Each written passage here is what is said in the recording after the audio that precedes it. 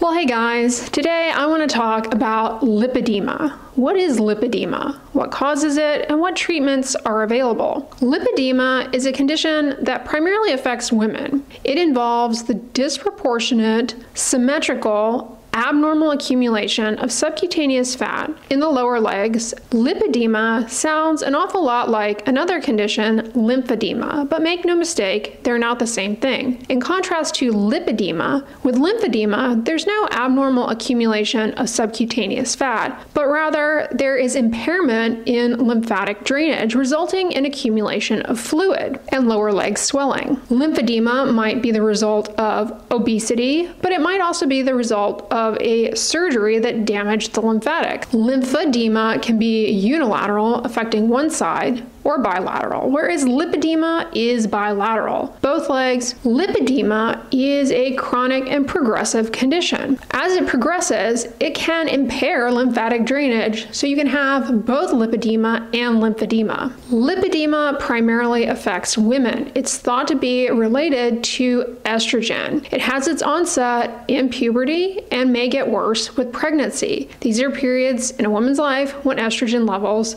increase. It's also related to genetics. Like I've said before, anything that's going on with you that's uncomfortable, you don't like, you can blame on your family. There is often a positive family history of lipedema in patients who have lipedema. Because of the role of estrogen in this condition, it primarily affects women, though rarely it can affect men in certain situations that might lead to high estrogen levels in men, such as cirrhosis of the liver. What is going on in lipedema? What causes it? Well, more research is needed to fully understand the underlying pathophysiology, meaning disease development process, that leads to lipedema. But as it stands now, it appears to be related to an increase in size and number of fat cells, as well as a problem with the blood vessels being too leaky and too fragile. Blood vessel fragility leads to leakage of fluid and protein into the surrounding tissues and the generation of inflammation. When you look at someone with lipedema, what you're going to notice is that they have symmetrically voluminous legs that are disproportionately enlarged in comparison to their trunk. Their torso may be slim, but their lower legs appear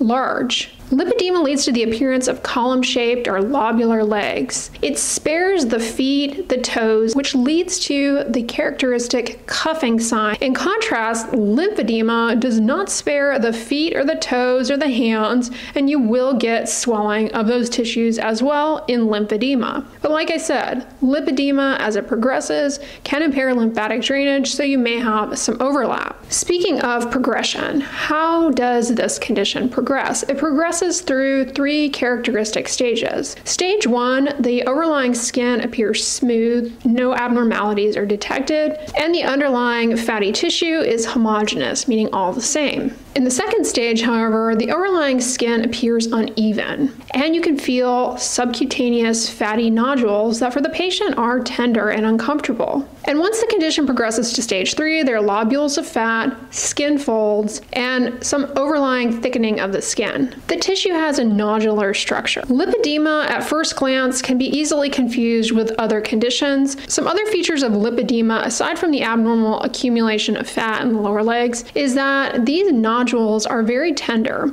likely related to the fact that the blood vessels are leaky. These patients bruise quite easily. Their overlying skin can be exquisitely sensitive to a light touch or pressure. Lipedema is aggravated by prolonged standing or sitting, and it may be alleviated in terms of symptoms by lying down. This likely has to do with return of fluid to the heart as we are lying down. As our legs are more elevated, that likely alleviates some of the symptoms. One of the things for patients who struggle with lipedema that can be very frustrating is that they're often told to lose weight. Losing weight definitely can help because it just offloads some of the pressure pressure on the lower legs in particular. However, as a patient loses weight, whether it be diet and exercise, weight loss surgery, that actually doesn't result in reduction in the size of the legs because that enlarged fatty tissue is not responsive to diet and exercise. Many patients with lipedema do have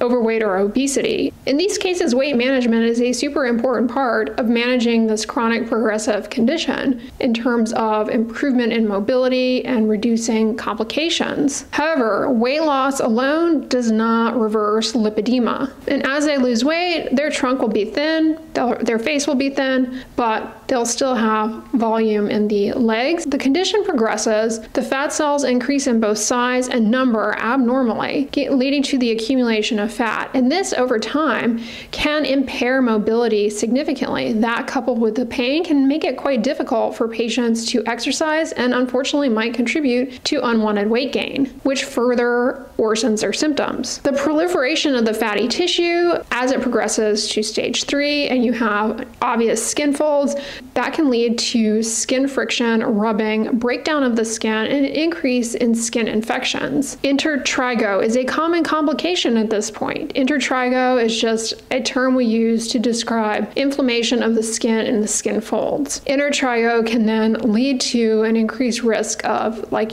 candidal yeast infections, a candidal intertrigo. Check out my video on signs of skin yeast infection. I talk more about it there and how to manage that complication. Lipedema can progress to a point where it actually becomes more challenging for patients to even walk because they develop almost a knock-kneed stance that can impair their mobility. How do you know if you have lipedema? Well, it's important to see your healthcare provider because an accurate diagnosis is key. There are many conditions that could easily be confused for lipedema. Lymphedema could be confused for lipedema. Also, many patients might have overlap of both lipedema and lymphedema. There's also a condition known as lipohypertrophy. Patients with hypothyroidism can develop a condition known as myxedema, where you have these large plaques on the lower legs that could easily be confused for lipedema. So, an accurate diagnosis is important. You may have to undergo some imaging tests to look at the underlying lymphatic tissue, the blood vessels, etc. Early diagnosis diagnosis is key because this is a chronic and progressive condition, and early intervention can make a difference long term as far as the trajectory and overall impact on quality of life. One of the most important things is maintaining an active lifestyle. Doing regular exercise is important for improving circulation and improve uh, return of any fluid through the lymphatics back up to the heart. Now, again, this is not the same thing as lymphedema, but you easily can develop lymphedema along with it, and the condition does worsen with prolonged standing, but exercise may improve it. The other thing that is a must with lipedema is compression. Wearing compression garments, compression stockings up to the thigh is really important to help compress some of that and reduce the burden of pressure on the lower legs. Also, super important for reducing the symptoms of sensitivity and pain that these patients experience. Of course, you need to be very careful as the skin does bruise easily related to those leaky blood vessels. This is a mainstay of management in the early stages of lipedema. Later on, however, patients would benefit from either manual or mechanical lymphatic drainage. Complete physical decongestive therapy involving either manual or mechanical lymphatic drainage coupled with compression garments is the go-to for lipedema once it's in the advanced stages. Then there's surgical intervention, specifically liposuction, to remove some of that abnormally enlarged fatty compartment. Liposuction actually can really be a game changer for lipedema, not only in reducing the volume, essentially debulking, but also in alleviating symptoms, symptoms of pain, discomfort. It can really make a huge difference, and those improvements can be sustained after the surgery. All right, guys, so that is lipedema. It's a condition that a lot of women struggle with. It's very uncomfortable and it's misunderstood. A lot of women, for example, who have this condition might be told by a passerby, like, you need to go on a diet, you need to exercise more, you need to lose weight. And while those things are very important for this condition, they don't necessarily reverse it, and there's a lot more going on and more specific directed therapies that may be indicated. So I really hope this video was helpful and informative in clarifying what this condition is, what the outlook of it is like, and provide you some understanding of what the potential treatment options are that are available. Now, speaking of estrogens, on the end slate, I'm going to put my recent video on warning signs that your estrogen is too low. So check that one out next if you missed it. But if you guys like this video, give it a thumbs up, share it with your friends, and as always, don't forget sunscreen and subscribe. I'll talk to you guys tomorrow. Bye.